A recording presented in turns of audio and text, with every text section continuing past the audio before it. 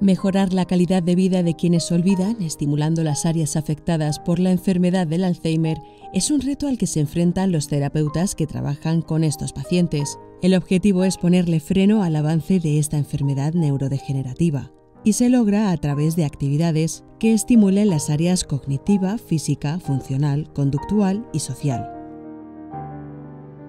Por hacer todo lo posible para que la persona con Alzheimer sea autónoma el mayor tiempo posible, por estimular las áreas afectadas por esta enfermedad para ralentizar su evolución y por organizar sesiones de dinámicas grupales donde trabajar emociones como la confianza, la diversión, la ilusión, la empatía o la felicidad. Este reconocimiento es para el proyecto Trabajando las Emociones, terapia de estimulación emocional T2E para personas con Alzheimer,